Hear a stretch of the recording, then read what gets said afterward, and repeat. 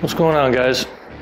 So in this video today, it's gonna be a quick one, but I just wanted to show you some new items that I got for both the ST and for the Heritage. Pretty excited about it. Figure hopefully you guys will be too. Been trying to make my mind up on a lot of it, but what they are, Siouxicide Choppers backrests. I've got this one here, which is a 16 inch uh, black with the red diamond stitching to match the seat on the Heritage. And then for the ST, which doesn't currently have a backrest right now, I just got the 16 inch black with the black flat uh, pad because they don't have gray stitching. So Siouxicide Choppers, if you're listening, sent you an email, got no response before I purchased. I really would have liked some gray stitching to go with everything else on my bike. You've got orange, you got red, you got white, um, no gray. So something to think about. But anyway, so I just got the, the regular plain non-perforated, non-hatched uh, backrest for that. So like I said, I don't have a backrest on the ST yet. I've been kind of waiting to try to decide different ones to get. But what I did have or do have, as you guys saw from a previous video, is I do have Harley's backrest for the Heritage. You know, nice little backrest. Got the luggage rack on it. I still have my uh, flags mounted from my uh, Honor the Following video that I, or Fallen video that I did uh, a little while ago. And there's nothing wrong with this, but it's just a very blase. And this back pad, it moves down, right? No matter how tight you get it without pulling the screws through. So not real happy with it uh, for that reason. If I have somebody sitting on the back of my bike and they scooch around or something like that, I can totally imagine that thing falling off and flipping down the road. What's the point, right? So I still have to figure out a backrest solution for the Heritage, but I do have one for the ST, and as soon as that comes in, I'll show you guys what that is, right? So, in any case, let me uh, spin the cameras around. We'll start out on the ST, and then I'll show you the Heritage. Uh, a little bit different between the two, uh, just because you got to add some different hardware if you don't already have the uh, Mounting kit for the ST is fine, works with the stock one. For the Heritage, it won't work with the stock mounting kits for the soft bags. You have to put in a different mounting kit because the diameter is a little bit smaller for the cam locks to go around it, and, and I'll show you that. A little interesting, no instruction with it, not that you really need them, but there is multiple pieces that I was like, mm, how do these go? So had to get creative, figure it out, try a few different things, and uh, then I found some intricacies that I want to show you on getting it latched in on the Heritage because I had a couple things where I had to do some, not modifications, just some corrections. So I'll show you that. But anyway, let me get the camera turned around. Like I said, we'll start with the ST, quick and easy, and then we'll move over to the Heritage and I'll show you a little bit more about that one. So cool. All right, see you in a minute. Okay, so got the camera turned around, looking at the back of the bike. You can see here that these are the stock uh, mounting kits for the ST. And you've got the, the back cam, you've got the forward cam, and then along your shock strut, I don't know if you can see right here, look at my hand, yeah. You can see right here, there is another little indent right there, a little cam spot that's part of your strut where your shock mounts to it, right? So the way they've designed these is that they're going to connect the forward point here and then the backward back end point is going to go here, which will leave you these two spots for any kind of luggage rack configuration. Uh, they have their own at Siouxicide Choppers. Uh, they have different ones too. Just picks on your style, how you want to go and stuff like that. So these are the areas that we're going to be focusing on when you go in. So pretty short and simple. Get up here on here, see if I can get a good shot. So if I focus down on the inside strut area, hopefully you can see right there, it's more forward than you think it is. It's not utilizing these here for that. It's up here in the front.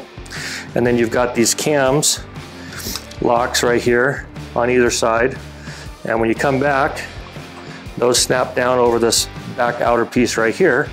And you push them down and then lock. And then sometimes it takes a little finagling, lock. And really, that's it.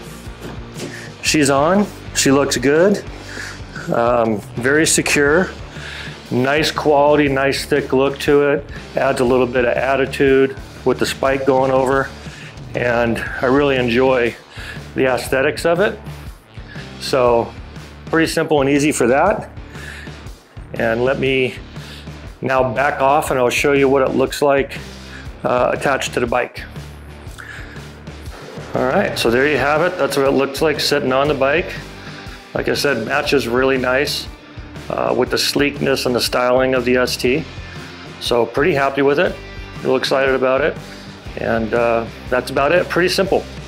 Uh, great people to work with over there. Like I said, they don't respond to their email, but there's a lot of information on the site and a video that shows how to put these on for the touring models, but it doesn't show how to put them on for the Softails, at least that I could find, which is why I sent them an email because that barrel kit. So we'll see if something happens there. So Siouxicide Choppers, if you're listening or you happen to see run across this thing, one, sponsor me, but also you know, got some questions, and it's important that uh, you get the feedback from your customers, especially pre-purchase, because these are a significant investment. So, all right, let me turn the camera back around for the Heritage, and we'll show you that one. All right, be back in a minute. Okay, so now we're turned around face down on the Heritage. So for those that may not have a Heritage, um, you've got two mounting points right here for your bags. Uh, back side here, front side here, and the backrest or luggage rack, all, all, not the luggage rack, but the backrest hooks into here, and then the luggage rack hooks onto the back of the backrest by design. So the stock ones are these little guys right here. And there's an indention hole on this side that when these go in, they go in there and stick in there and then you run a long bolt through them. When you get the kit that comes with the bag or with the backrest, they send you these bolts and new cam attachments and these little pyramid guys, which kind of threw me. But um, then I kind of figured that they were doing like a general Softail thing, not something specific for the heritage. So you just got to kind of figure it out. But it would have been nice if they had in the instructions that said, hey, for a heritage, do this because you have bags. For a regular Softail or a fat boy or something like that, these bolts would probably work, but they were too short to go through the bag and into the thing. So what I had to do was figure out how they matched up. So on the front of the backrest, there's a thin little attachment that I'll show you in a minute, and on the back is a thicker one. But in both cases, the size of this cam insert or mount, I guess, is thicker here than it is there. And I don't know if you can see it, but one side is thick, one side is thin, where in theirs, they're both thin. So you kind of had to figure out what was going on. So I took the new insert that they gave me and I took this sexy little angled thingy and put it end to end like this. So it went in the little uh, indent here like it normally did, which when I put them together, it matched up to the same size as the stock one. And then on this, this side here, you have to do the same thing. I'm sorry, let me back that up. This side you don't put the insert on, this side you do. When you add these two together, it's the same length as this one here. So scratch that. This insert, no insert. And then you feed the longer bolts through that came with these bags, and then you put them in. And then it goes in and, and latches.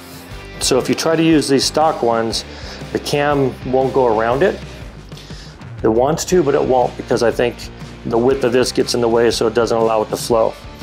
They didn't give instructions, like I said, so I kind of had to figure it out. So they give you four of these little guys. When I tried to put it on, The back one with it, same kind of configuration, push my bag out real far. So this one went on with no little uh, angle thing here. The front one is almost half the size. So using this one as an example, I put this like this and it equaled the same width and diameter. So these are now flush and doesn't look stupid, right, hanging out there. But it'd really be nice if they had some instructions because trying to figure it out is great, but you know, put instructions in your stuff, man. Make it easy. So what I did was in the front one, put the thinner connection with that in there, ran the longer bolt that came with my original setup because the new ones won't work.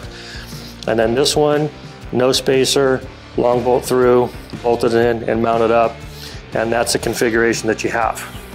Now, when I tried to mount it in, and I'll show you. So these now go in that little groove and this little groove and they're flexible, which is good. And then it comes over and catches those locks just like on the ST, right? Right here. So the problem I ran into where I said I needed some finagling is these cams, there's a screw on the outside right here and either through shipping or as you're moving them around, uh, you can spin this thing out and it'll back that out and increase this gap between the cam and this part of the, the mount, right? And so when I was trying to put it on, it wasn't lining up right and trying to chew up the barrel and it was irritating, right? So tried to figure out what was gone. I went on their site, looked at a bunch of stuff. Of course, they didn't have anything. Just had a real cool, sexy picture of, you know, this little kit that you got to have. It's all you need for Softail. But it didn't have any instructions. So again, Siouxicide Choppers, put instructions with everything. People like me are stupid. We need, we need pictures. I'm a, I'm a visual learner. So it'll really help out do that and answer your emails once again. Sent you two of them. But anyhow, so once I noticed that, this side was a little bit looser than this side and further away. So I adjusted those. Then once I did, then it started to slide in there and not mess around. And you notice how I push that in right there like that to get in those grooves. Then when you shove that down, much as with the other one, then you come over here and you push these down till you hear a snap. And let me go around the other side because they're new. And it's gonna take a few times of it working. But same thing here, this little cam lock, push that down. Make sure you get it all lined in there. That's a little bit of a pain. All right, so you just push it, snap, and there you go. Now it's on there real good, not going nowhere, and looks really nice. And I'll, I'll switch the camera around. It really matches the whole theme with everything that I go in. But uh, let me show you what it looks like from a distance. So now you can see how it looks on the bike. And it just really gives it a nice little aesthetic, uh, much like the ST, right? So if we have this one here and then we switch over to a little mini me, a little bit bigger bike, jumps up there and you can see they just look really cool on the bikes. Uh, might be for some, might not be for some, but I just think it looks cool. It's much better just than standard old drab uh, backrest. And these things are built, dude, let me tell you. They are very thick tubing. You can get, I think it's inch and a quarter, an inch and a half in the tubing. And so whatever your preference is. So like if you have um, meat hooks on your bike, like I have for now on this and I have on the Heritage, then it really matches up nice, right? So uh, overall, great product. Like I said, doesn't come with any instructions. You get a sticker with some very well wrapped backrests and that's it. And for the Heritage one, because it's Softail, they included the the uh, barrel kit in there for the mounting hardware. So thankfully they did because otherwise I wouldn't have been able to put it on until I got it. So anyway, that's about it. Um, hope you enjoyed the video. I know it was a quick one. Figured I'd do just two in one because it's like three minutes to do it. But uh, like, subscribe, give me any feedback, let me know your thoughts, and uh, we'll catch you on the next one. All right, see you later.